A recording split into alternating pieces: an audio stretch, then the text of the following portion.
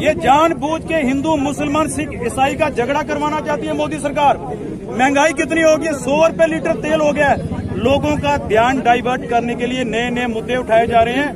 जो बंदे peaceful protest कर रहे हैं, उनको उठाया जा रहा है। जो डेमोक्रेटिक राइट से पीसफुल प्रोटेस्ट कर रहे हैं उन लोगों की आवाज़ को दबाने के लिए डराया जा रहा है पीछे लोग डर जाए कारण दिल्ली पुलिस आई और खालसा जी को यहाँ से लेकर देखो कारण हमें नहीं बताया आज हम कारण आपसे सुन रहे हैं। आप बोल रहे हैं सोशल मीडिया में ये हो रहा है नेशनल मीडिया ये आ रहा है उन पे ये इल्ज़ाम लगाया जा रहा है कि वो दिल्ली में लाल किले में गए थे। ये हमें नेशनल मीडिया से पता लग रहा है। अगर वहाँ गए भी थे तो पाकिस्तान थोड़ा गए थे दिल्ली में गए थे। वहाँ पे तिरंगे का तिरंगे का कोई अपमान किसी ने नहीं नहीं किया जब उन्हें अरेस्ट किया तो उनकी फैमिली तक को नहीं बताया गया कि बिल्कुल सर जब उनको अरेस्ट किया गया ये उनके ब्रदर है हमारे साथ इनको भी नहीं बताया गया कि हम उनको अरेस्ट कर रहे हैं।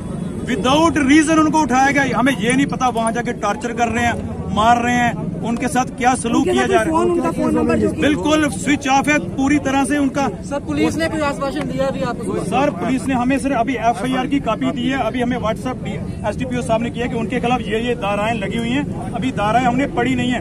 दिल्ली पुलिस सरकार के कहने पे किसी भी बंदे पे कोई भी धारा लगा सकती है क्योंकि दिल्ली पुलिस सरकार के अंडर काम कर रही है। सर जम्मू पुलिस की तरफ़ से क्या कहा जाता है? सर जम्मू कश्मीर की पुलिस ने हमसे ये धोखा किया है जब दिल्ली पुलिस यहाँ पे आई है, जम्मू कश्मीर ने ये धोखा किया हमसे कि हमें इन्फॉर्म नहीं किया है कि आपको दिल्ली पुलिस उठाने आई है। इन्होंने मिंदर सिंह खालसा को फ़ोन करके बुलाया कि आपके साथ काम है। इन्होंने सोचा ये अकेले गए अगर कोई गुंडा बदमाश होता, पुलिस के कहने पे थाने जाता कभी? ये रागी हैं, कीर्तन करते हैं, प्रचार करते हैं गुरुद्वारों में। इनको फ़ोन किया गया जम्मू पुलिस की तरफ़ से कि आप आइए। ये कोई गुंडे नहीं है, बदमाश नहीं है, क्रिमिनल नहीं है। इनको बुलाया गया ये अपने साथ सौ बंदे लेके जा सकते थे पर ये अकेले गए।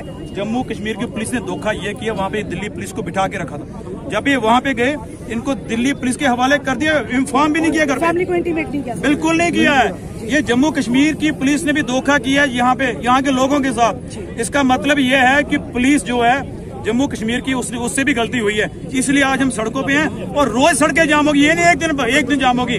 अब रोज सड़कें जाम होगी रोज महँगाई के खिलाफ प्रोटेस्ट होगा।